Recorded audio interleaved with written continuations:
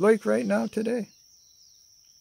Sick, shackled planetary prisoners, common natural humans, earth people, are trapped in nasty nation cages. They're caged in the nations. The nations are their jailers, but they're the last ones to know. Look, subhuman warlords and uh, big shot politicians, they chain common people to torturous, endless work as throwaway economic slaves. Coal dust in your lungs?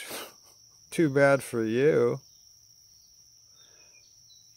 Right now on Earth, how is the water and food actually flowing around?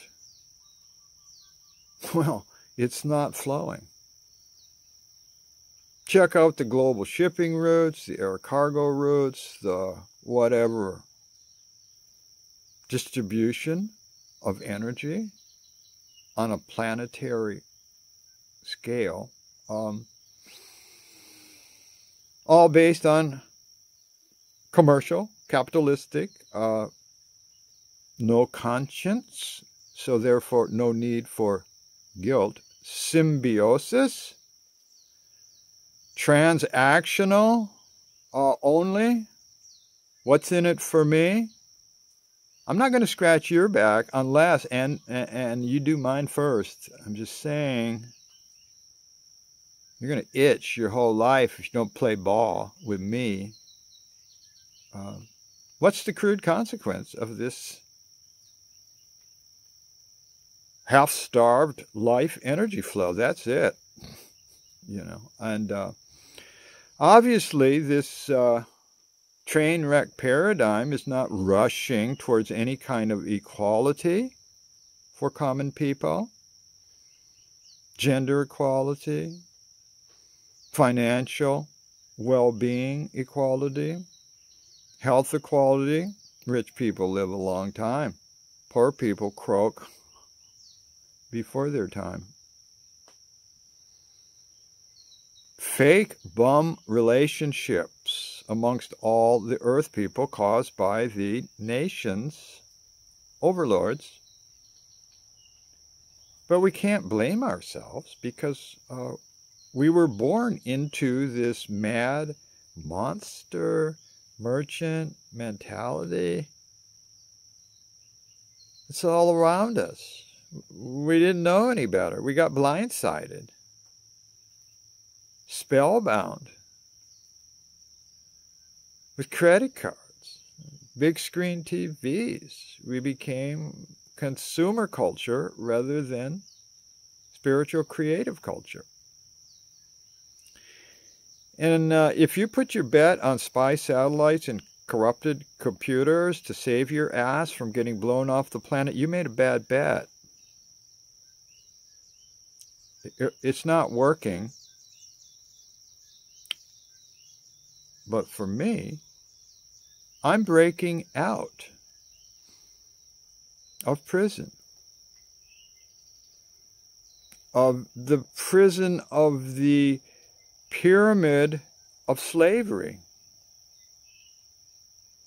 All the bottom levels, with most at the lowest and working up, slaves. Put lipstick on a pig, and you're still a slave.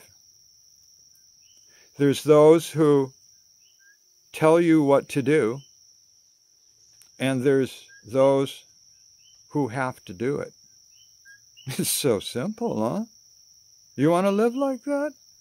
Well, and at the top of the pyramid, uh, billionaires uh, with their private jets, uh, million dollar yachts, um, harem of white chick prostitutes. You know. Um,